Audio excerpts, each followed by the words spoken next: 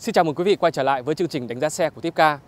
Cách đây không lâu, khi mà chúng tôi đăng tải bài viết có nhan đề những điều thú vị khi mà đi dã ngoại bằng xe mô tô mà xe ô tô không thể có được, thì đã có rất nhiều quý vị tham gia tranh luận về đề tài này. Thậm chí có những quý vị còn chia sẻ rằng ô tô chỉ có thể đưa được thể xác, trong khi đó mô tô thì còn đưa được cả thể xác và tâm hồn. Vậy cụ thể vấn đề này ra sao? Ngày hôm nay chúng tôi quyết định so sánh hai chiếc xe. Một bên là Yamaha IZF R15M có mức giá là 86 triệu đồng. Và một bên là Toyota Corolla Cross với mức giá gần gấp 10 lần như thế. Vậy thì hai chiếc xe này khi mà đi ra ngoại có cái gì khác biệt? Chiếc xe nào thú vị hơn? Mời quý vị cùng trải nghiệm với team Tipca chúng tôi. Đầu tiên đó chính là anh bạn mô tô. Đây chính là chiếc xe Yamaha IZF R15M. Một chiếc xe thể thao đích thực và nhìn nó rất năng động, rất mạnh mẽ ngay cả khi nó đứng yên. Và chiếc xe này nặng chỉ có 140 kg, có nghĩa là chỉ nặng hơn những chiếc xe ví dụ như là Honda Way hay là Honda Dream chỉ khoảng 30 kg thôi. Chiếc xe này được trang bị động cơ có dung tích xi lanh là 155cc, có nghĩa là tất cả những ai đang sử dụng giấy phép lái xe hạng A1 đều có thể sử dụng một cách hợp pháp. Đầu tiên là một động cơ cỡ nhỏ có dung tích xi lanh là 155cc. Thông số về công suất hay là sức kéo quý vị có thể nhìn thấy trên màn hình. Như vậy cũng ở mức là ấn tượng vừa phải so với dung tích xi lanh. Và đi cùng với động cơ này là một hộp số cơ khí 6 cấp ly hợp kép dạng ướt và đa đĩa. Và hộp số này đã được cải tiến so với thế hệ trước đó, có khả năng chuyển số siêu nhanh. Và đây chính là loại hộp số mà siêu bền bỉ của Yamaha.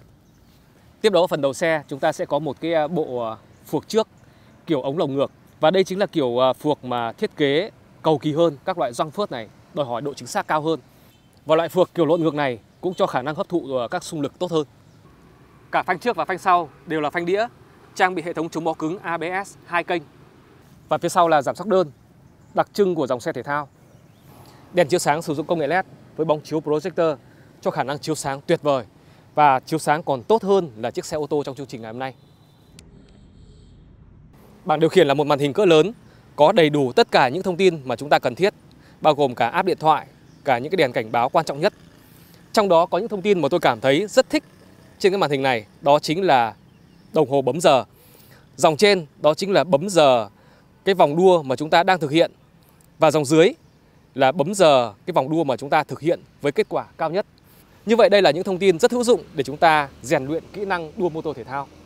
Yên xe có thiết kế đặc trưng của dòng xe mô tô thể thao và cũng dành cho hai người. Tuy nhiên, thực ra các dòng xe mô tô thể thao là chỉ có người lái cảm thấy thoải mái và dễ chịu thôi. Còn người ngồi sau thì rất cao và đôi khi khi mà di chuyển trên đường dài thì sẽ cảm thấy không dễ chịu cho lắm. Và đây, bình xăng có dung tích là 11 lít và theo hãng công bố thì chiếc xe này có mức tiêu hao nhiên liệu trung bình chỉ có 2,3 lít trên 100 km. Như vậy là khi mà đổ đầy bình mà chúng ta chạy đều ga, chạy ờ, rong chơi trên địa hình hỗn hợp thì có thể chạy được khoảng hơn 400 km. Và ở đây, xích truyền lực được sản xuất bằng một công nghệ đặc biệt đã được cải tiến và có khả năng hạn chế tối đa tiếng ồn trong mọi điều kiện di chuyển. Dĩ nhiên, xích này cũng cần được ờ, bảo dưỡng định kỳ thường xuyên bằng một loại dầu đặc biệt Yếu tố mà tôi cảm thấy chưa được thỏa mãn lắm về chiếc xe này, đó chính là tiếng của ống xả. Nó chưa thực sự chắc. Nhưng mà chúng ta đành phải chấp nhận thôi, bởi vì đây là một động cơ cỡ nhỏ.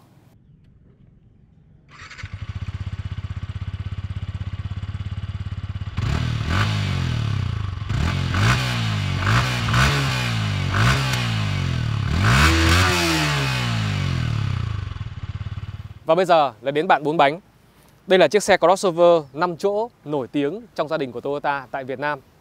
Về mặt thiết kế thì đây không hẳn là một chiếc xe thể thao, chỉ là hơi hướng thể thao một chút thôi. Và khi mà nhìn à, hai bên sườn xe thì mang một chút phong cách cơ bắp nhẹ. Về hệ thống động lực thì chiếc xe này được trang bị động cơ 1.8 lít. Công suất và sức kéo quý vị có thể nhìn thấy trên màn hình. Và đi cùng với động cơ này là một hộp số vô cấp CVT. Về phần gầm xe thì chiếc xe này được trang bị một hệ thống treo rất bình thường. Phía trước là MacPherson, phía sau là kiểu dầm xoắn loại hệ thống treo đặc trưng dành cho xe đô thị.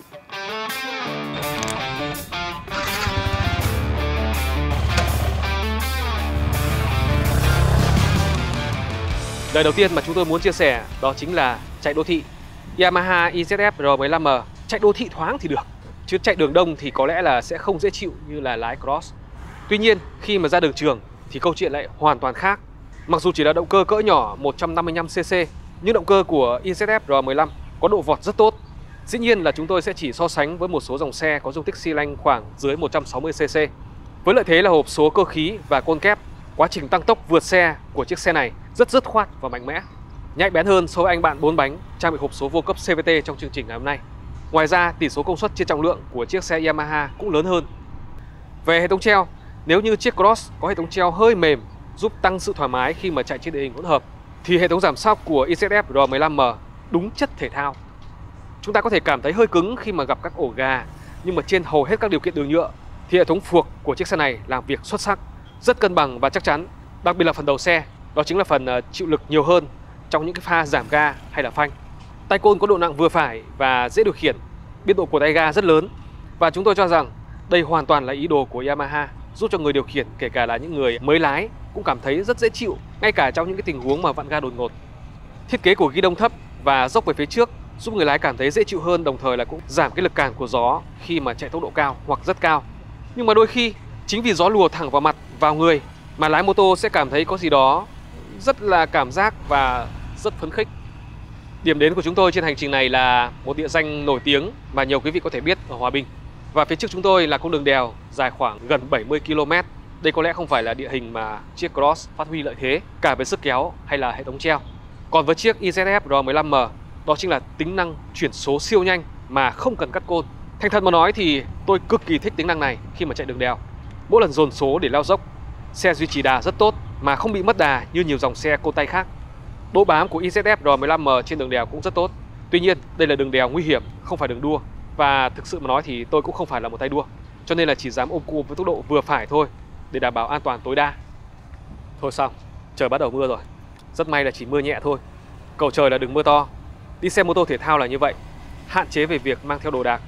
Nếu muốn mang theo áo mưa hay đồ dùng cá nhân, chúng ta chỉ còn cách là bỏ vào ba lô. Chúng tôi đã tới điểm đến cuối cùng của hành trình ngày hôm nay và chắc hẳn là nhiều quý vị đã nhận ra. Vâng, đây là bản Lác ở Mai Châu của tỉnh Hòa Bình. Việc sử dụng ô tô có vẻ là không được hợp lý cho lắm khi mà di chuyển trên những con đường nhỏ hẹp ở khu du lịch này.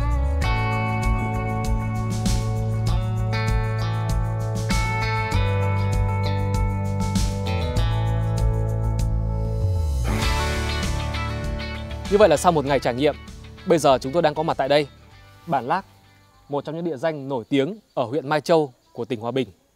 Và để khám phá Bản Lác cũng như là nhiều địa danh văn hóa nổi tiếng như thế này, thì một phương tiện rất thuận tiện mà cũng là thể hiện phong cách, thể hiện cá tính, đó chính là một chiếc xe mô tô. Còn việc mua và sở hữu một chiếc xe ô tô như Corolla Cross hay là nhiều dòng xe có mức giá tương đương hoặc là thấp hơn hoặc là thậm chí là cao hơn thì không ai nghĩ rằng chúng ta mua một chiếc xe như vậy để thể hiện phong cách và cá tính cả. Dưới góc nhìn của chúng tôi thì một chiếc xe ô tô như vậy đơn giản là để phục vụ công việc, phục vụ gia đình và nó là một loại phương tiện giao thông đích thực chứ không phải là một thứ để thể hiện cá tính. Tổng kết lại chương trình, mẫu xe mô tô Yamaha IZF R15M là một chiếc xe rất cá tính, có thiết kế rất đặc sắc. Và đây cũng là một chiếc xe nhỏ, gọn, nhẹ và gần như ai cũng có thể sử dụng được. Nếu như mà so sánh với một số dòng xe mô tô phân khối lớn thì nó nhẹ hơn rất nhiều và động cơ thì đủ mạnh để giúp chúng ta có thể chinh phục hầu hết các dạng địa hình. Ở những khu du lịch thì dịch vụ cho thuê xe máy phát triển rất rầm rộ. Tuy nhiên, hầu hết những xe cho thuê đều là những chiếc xe phổ dụng, thậm chí là cũ, nát mà không ai cho thuê một chiếc xe mô tô như thế này cả.